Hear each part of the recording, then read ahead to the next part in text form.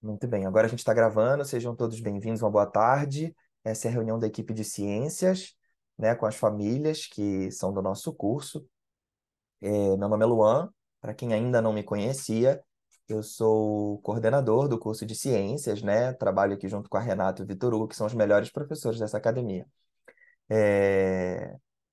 Essa reunião, ela existe, gente, ela começa a existir a partir de hoje, nasceu essa reunião com a intenção de solucionar possíveis dúvidas, de a gente se conhecer e aqui num momento breve, né, a gente nem vai poder estender muito essa reunião, vai ser uma reunião breve, a ideia é que ela seja breve, até porque vocês sabem que se for uma reunião muito extensa, ninguém vai assistir essa gravação depois, e a gente precisa que as mães assistam essa gravação. Então é uma reunião breve, onde a gente vai fazer uma pequena explanação aqui para vocês é, sobre alguns temas, bem rápido, e se sobrar tempo, a gente tira algumas dúvidas. Eu já digo a vocês que se durante as nossas falas vou falar um pouco, a Renata vai falar um pouco, o Vitor vai falar um pouco. Se porventura surgirem dúvidas, eu vou pedir que vocês coloquem para mim no chat, tá bom? É, eu vou colocar aqui o chat que vocês consigam mandar as mensagens diretamente para mim. E aí vocês me mandam as dúvidas de vocês no chat. E aí, se der tempo, a gente é, soluciona essas dúvidas no final da reunião.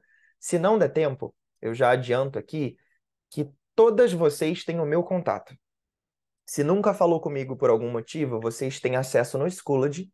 Vocês vão lá no Schoology, vocês vão achar o curso de ciências. No curso de ciências tem uma parte chamada Contatos Importantes. Lá vocês têm o contato do coordenador do curso, que sou eu. Então, qualquer dúvida que porventura a gente não solucionar nessa reunião, vocês podem me procurar ou procurar diretamente o professor, tanto faz. E aí, juntos, a gente soluciona as dúvidas de todos vocês, tá? Eu vou dar mais uma vez as boas-vindas a quem chegou. Nós acabamos de começar é, essa reunião da equipe de ciências para tirar algumas dúvidas e trazer alguns temas para vocês, tá? O motivo dessa reunião, como eu dizia, é solucionar alguns questionamentos que vão surgindo ao longo do ano. É, a ideia é que a gente faça ela com mais constância.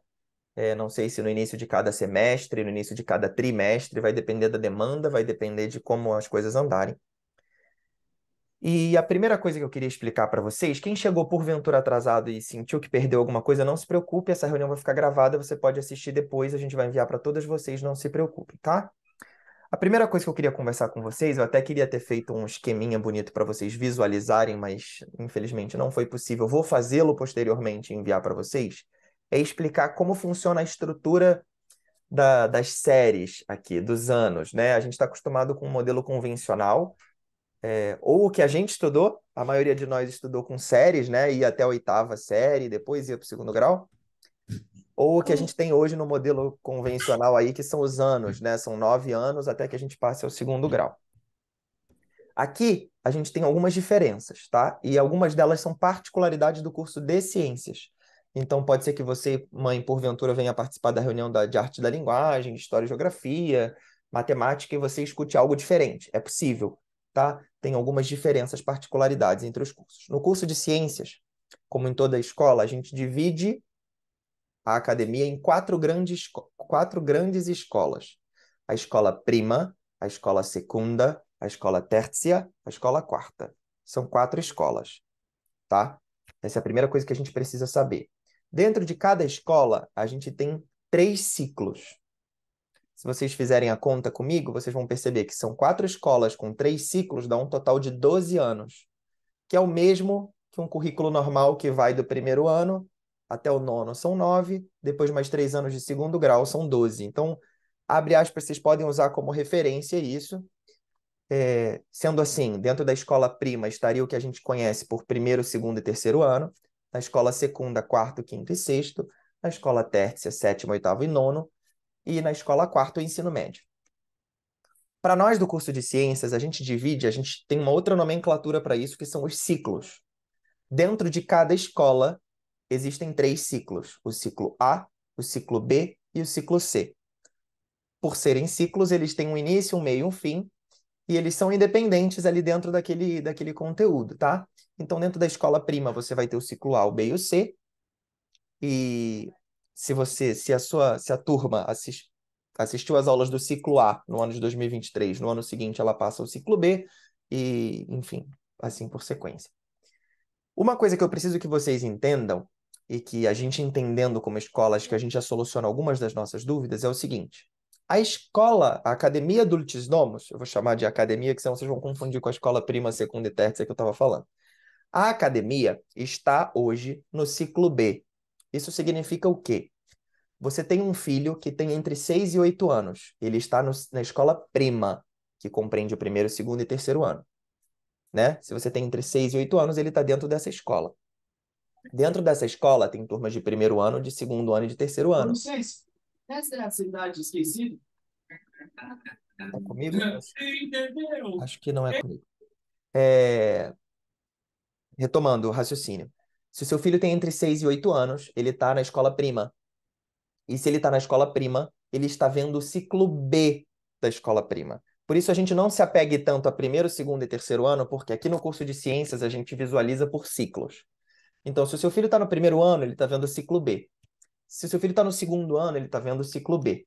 Se ele está no terceiro ano, ele está vendo o ciclo B. É por isso que em algumas turmas nossas, vocês vão descobrir, vocês vão ver, que às vezes você tem um aluno de 7 anos compartilhando sala com um aluno de 8 anos. Para nós, isso não é um problema, porque eles estão vendo um ciclo. O ciclo B. No ano que vem, nós passamos ao ciclo C. E ninguém vai ter débito de nada. Ninguém vai ficar com dívida de nada, né? Então, é importante vocês entenderem isso. Isso funciona para todas as escolas.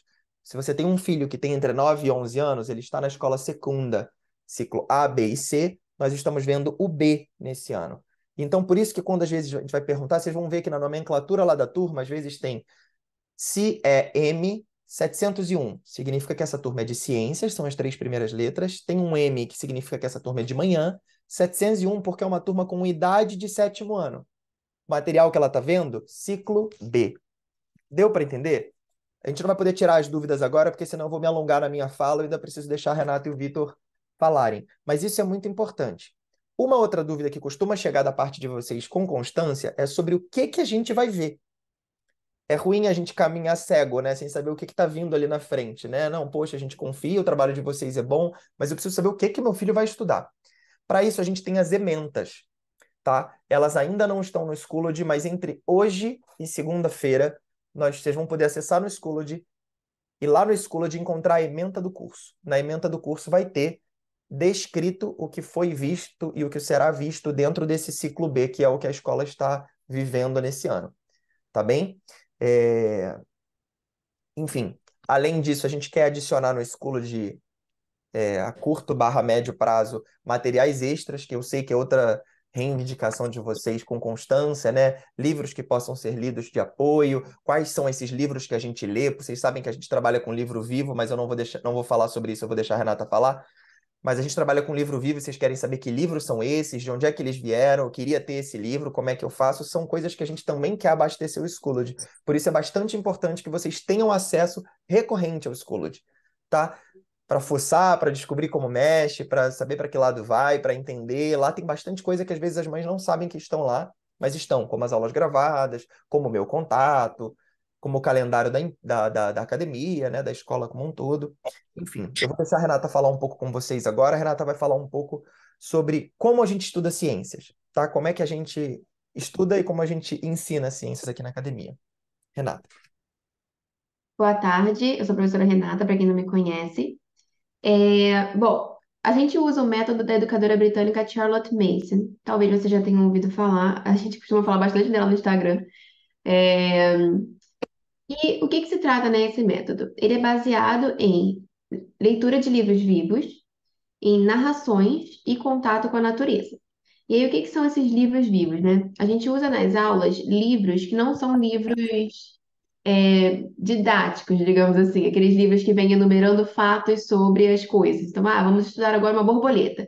Quantas asas tem a borboleta? Quantas pernas tem uma borboleta? Quantas antenas tem uma borboleta? Os nossos livros não são assim é, a gente usa livros vivos, que são livros que com- são livros que ajudam a criança a se relacionar com o que ela está estudando.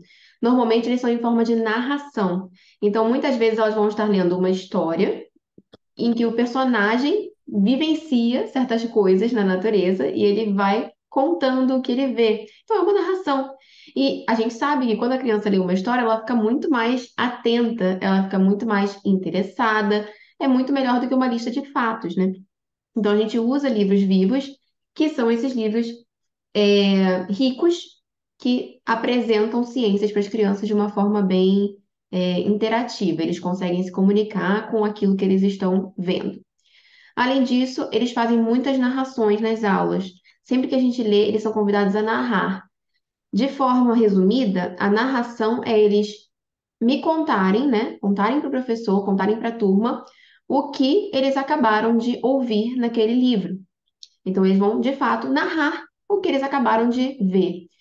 E esse assunto de narração é muito extenso, mas o fato de narrar, você só pode contar uma coisa que você compreendeu de fato. Se você não compreendeu aquilo, você não é capaz de narrar. Então, quando o aluno vai narrando, a gente percebe o que ele conseguiu assimilar, o que ele conseguiu compreender daquilo que a gente está estudando. E cada um pega um pouquinho diferente e tá tudo bem. É, ele, cada um vai se relacionar com aquele material de uma forma.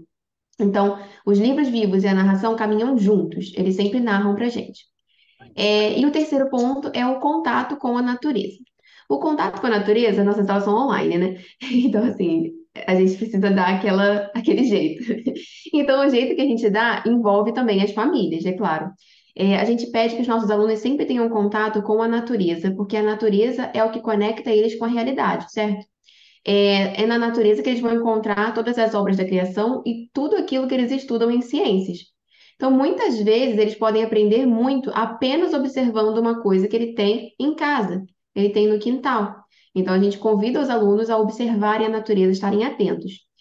É, o Vitor Hugo vai falar um pouquinho mais sobre isso. Mas, é, se a gente for parar para pensar, quando eles estão observando, eles conseguem aprender sem o professor precisar dizer. Então, nas narrações dos livros vivos, eu leio para eles uma coisa, eles vão prestar atenção, depois eles vão me contar. Só nisso aí, eles mesmos construíram as conexões que eles precisam, compreenderam o material do jeito deles para expor depois. E quando eles observam uma coisa, é, o pé de jabuticaba que tem em casa, ele vai aprender sobre o pé de jabuticaba, sobre os polinizadores que tem ali, sobre o que está acontecendo, tem flor, tem fruto, quando que aparece a flor, o que, que acontece com esse pé se ele ficar muito tempo no sol, se não regar, ele aprende sozinho. Então, a gente convida os alunos a observarem, porque a gente incentiva que eles possam aprender sem que a gente precise ficar mastigando tudo para eles. Eles conseguem aprender sozinhos. Então, a gente instiga eles a isso. E aí, a forma da gente instigar tem muito a ver com as tarefas e com o caderno da natureza, que é uma coisa que o Vitor Hugo vai falar para a gente também agora. Tá bom? Olá, gente, boa tarde. Para quem não me conhece, sou o professor Victor Hugo. E agora eu vou falar com vocês um pouco sobre a experiência do caderno da natureza. Bom, como aqui a gente vivencia essa realidade do caderno da natureza? Para que, que ele serve? Qual é o objetivo? Vamos tratar um pouco para tirar alguns mistérios que talvez você possa ter. Né? Talvez seu filho já tenha dito, eu preciso fazer um desenho, eu preciso da natureza. Começa por aquilo que a Renata falou. Eles só podem desenhar aquilo que eles viram. Assim como você só pode narrar, como a Renata dizia, aquilo que você dominou, ninguém pode falar sobre algo se você não conheceu, se você não se aprofundou. Da mesma forma, o desenho, você só pode desenhar aquilo que você conseguiu ali perceber, que você captou.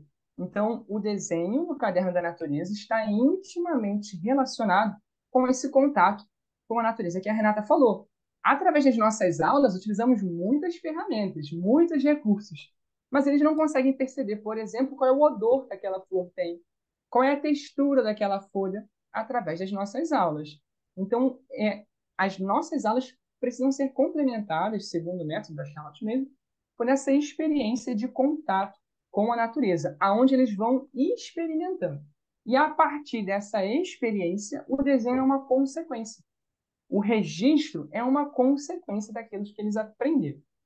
É, então, esse caderno da natureza, ele é um diário. Então, assim como o diário, para quem já teve um, ele é pessoal. Ele vai ter as características próprias. Então, o registro vai ser com certa frequência, assim como no diário, e também da sua maneira, do seu modo. E ali acontece um registro do que se observa da natureza. Então, tem um caminho a ser percorrido. Primeiro, é necessário um contato com a natureza, daí uma percepção Sim. dessa natureza, depois se gera um registro. Então, quando quando ele precisa, né, quando o aluno precisa observar a natureza a ponto de registrar, isso faz com que ele aprenda de uma maneira muito profunda. Assim como ele precisa prestar atenção no texto para poder depois conseguir narrar. Ele não está só ouvindo. Existe uma responsabilidade nele de conseguir perceber e traduzir aquilo que ele entendeu, ainda que com as suas palavras, na medida que ele consiga compreender. O registro é da mesma forma. É, essa experiência de contato com a natureza vai fluindo e depois se transforma em um registro.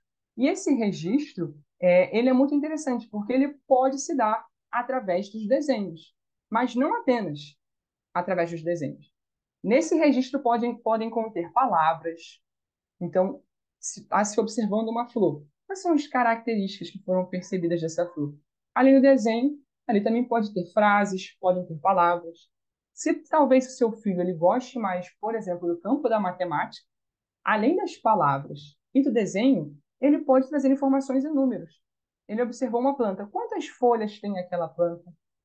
A folha era bem grande. Será quantos centímetros essa folha tem? Então pode ser é, anexado a esse registro de desenho e as palavras também algumas informações, como o tamanho, como o peso. E tudo isso vai fazendo com que uma experiência seja vivida. Porque mais importante do que ele está desenhando é a própria coisa que ele está observando. É a experiência que está sendo vivida, é o que está sendo gerado e construindo através desse contato da natureza. E esse contato ele pode ser em ambientes onde ele está totalmente imerso, como uma floresta, como um parque, uma cachoeira, algum lago, a praia. É muito importante que ele faça também essa experiência totalmente imerso na natureza, mas também em realidades mais simples, como na própria rua, numa praça, no quintal da própria casa, aonde ele tem acesso a um jardim, então, todos esses lugares favorecem essa experiência. E é muito importante que eles possam também estar com o próprio material. Ainda que eles não concluam o desenho ali, no passeio que você fez em família com eles, mas eles, ele começa um esboço. Então, ele pode começar um desenho, ele pode notar algumas informações, as características do animal que ele viu, as características das plantas. Porque quando ele retornar para esse material, ele vai conseguir con continuar desenvolvendo aquilo que eles perceberam. É, eu estou trabalhando com eles nas aulas, todas as escolas já viram, falta apenas a prima ver.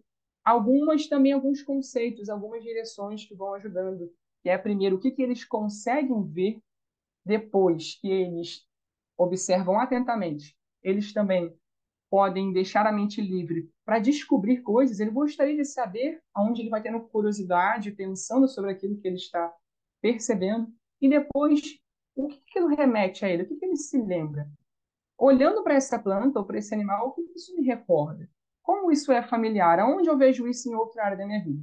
Então, através dessa rede, ele pode, no final, construir um registro e a conclusão é que ele vai aprender muito mais do que se ele tivesse visto algo ou se ele tivesse escutado algo. Mas essa, essa construção do conhecimento vai sendo trilhada pelo próprio aluno, que é essa proposta da Charlotte Mason. Perfeito, Vitor. Pessoal, então, é, fazendo um resumo para quem chegou depois, é, essa, essa reunião está gravada e vocês vão ter acesso depois para poder rever algo que vocês estão perdido. Então, assim, dois grandes pilares aqui, né? Como a Renata dizia, a gente quer ensinar os nossos alunos, despertar nos nossos alunos uma capacidade de aprendizado que vai para além de uma simples memorização.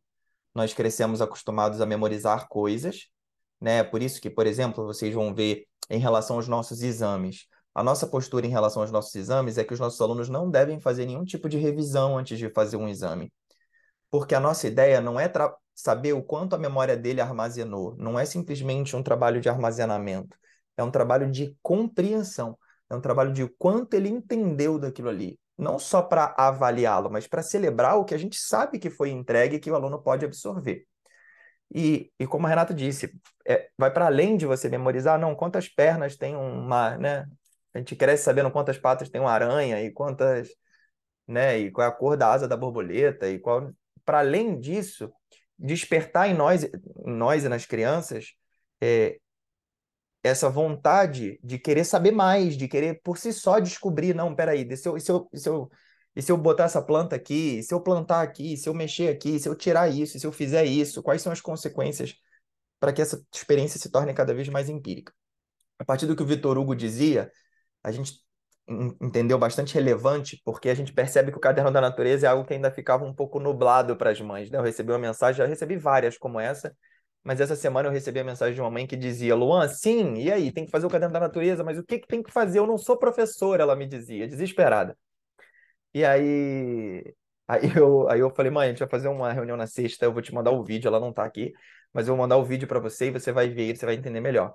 Porque às vezes é, é, é, natural que a gente vá se preocupar. Esses dias eu fui fazer o caderno da natureza com uma criança, e aí ele trouxe para mim o desenho. Quando eu olhei, aí eu falei assim: o que, que é isso mesmo, hein? Porque o desenho estava irreconhecível. A gente fica extremamente preocupado com isso, né? Poxa vida, mas o meu filho não desenha bem. Para que, que vai gastar tempo fazer um desenho horrível? Né? Ele tentou relatar uma coisa. Mas a gente precisa entender qual é a finalidade. Por um lado, a gente precisa avaliar se o desenho não está bem feito só porque tem criança que é assim, né, gente? Ah, tem que desenhar? Peraí. Tá pronto.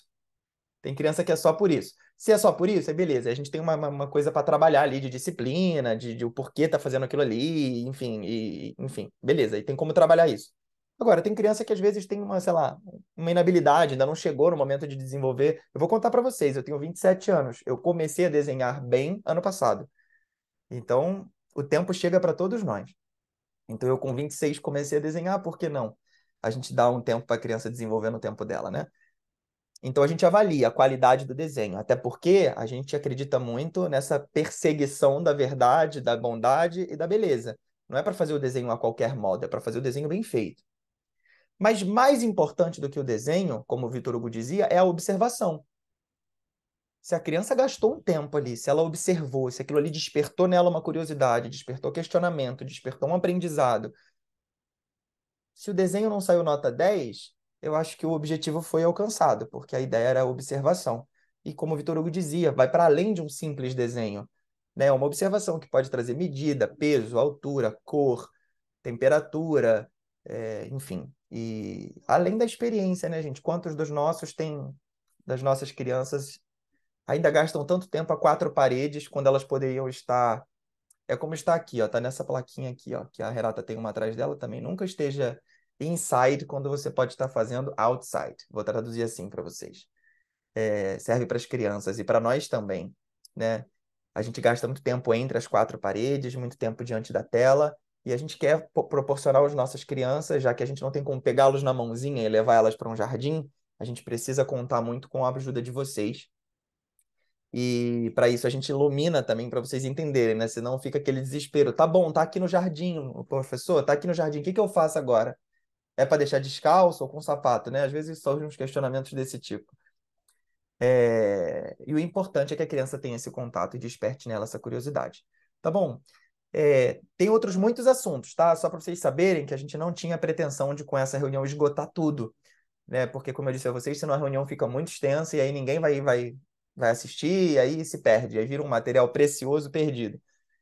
Tem outros assuntos que a gente ainda quer esgotar, mas hoje, se a gente sair daqui tendo uma nova mentalidade da, da, do caderno da natureza e ajudando os professores a aplicá-lo, muito bom. Além disso, entender como a gente estuda ciências, porque é natural que a mãe vai olhar lá e fale assim: meu Deus do céu, mas isso aqui é tão diferente do que eu estudei, isso aqui funciona, né? Dá aquela crise, assim, né? Uma crise existencial. Porque eu cheguei até aqui vendo um, vendo um livro que me mostrava a quantidade de pata da aranha. Meu filho não está vendo a quantidade de pata da aranha. O que, que eu faço? Compro a aranha e dá para ele. Ele vai, ele vai ver quantas patas ela tem é, é uma brincadeira, mas no final das contas é isso que a gente quer despertar nas crianças. Elas são perfeitamente capazes de descobrir, vou usar o mesmo exemplo, quantas patinhas tem uma borboleta, e elas são capazes, não precisa de um livro para dizer isso. A vida está aí, a natureza está ali. Né? Às vezes a criança está estudando o comportamento de uma flor num vídeo do YouTube, tendo um jardim do lado de fora. Né? E é isso que a gente quer despertar nas nossas crianças, né? que o estudo de ciências seja esse estudo é, da experiência deles com a natureza, né? A gente tem uns minutinhos, acho que dá para a gente estender mais cinco minutos. Será que a gente tem alguma pergunta que a gente poderia responder? Ou pelo menos prometer que vai responder, né? Porque às vezes as perguntas de vocês são bem diferenciadas. Alguém tem alguma pergunta, alguma dúvida?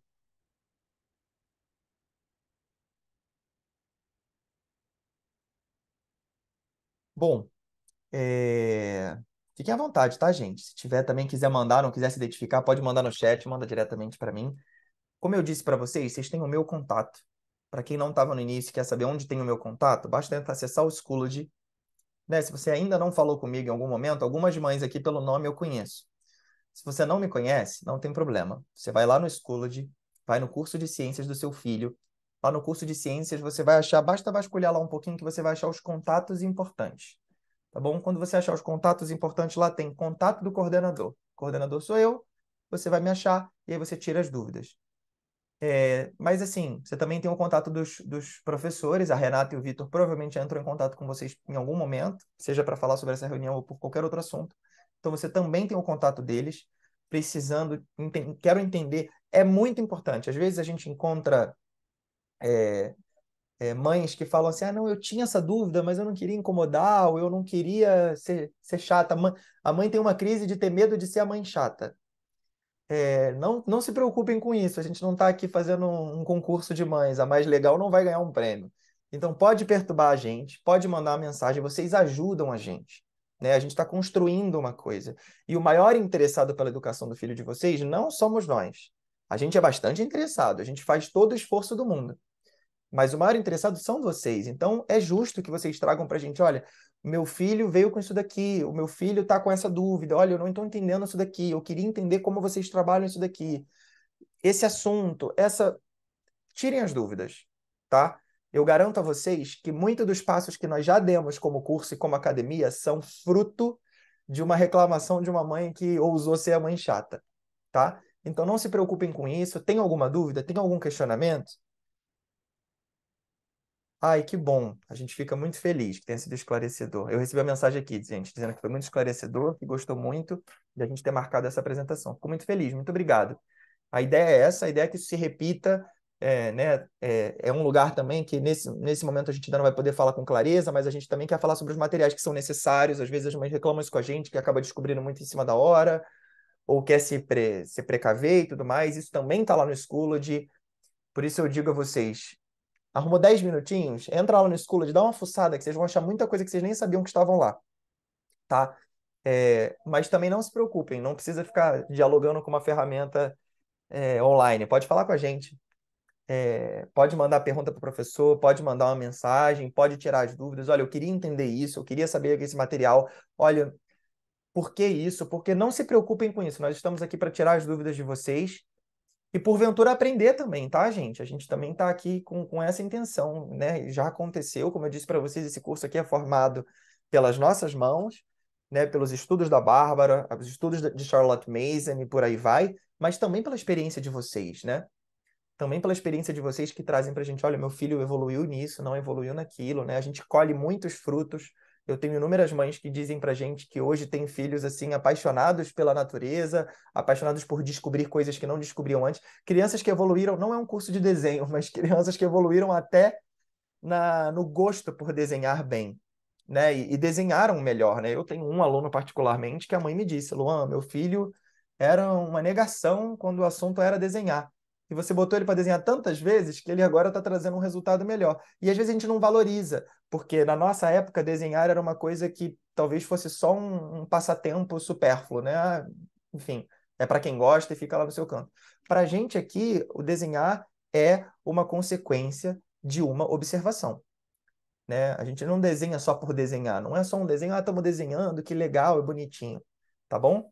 Então contem com a gente. Eu recebi uma mensagem aqui dizendo que essa reunião acalma o coração. Muito esclarecedor, acalma o coração. Que bom que a gente acalma corações. É, a gente quer fazer essa reunião com mais frequência. Como eu disse, a gente vai ter outros assuntos para tratar em outros momentos, como materiais extras que vocês podem oferecer ao, livro de, ao filho de vocês, livros e por aí vai.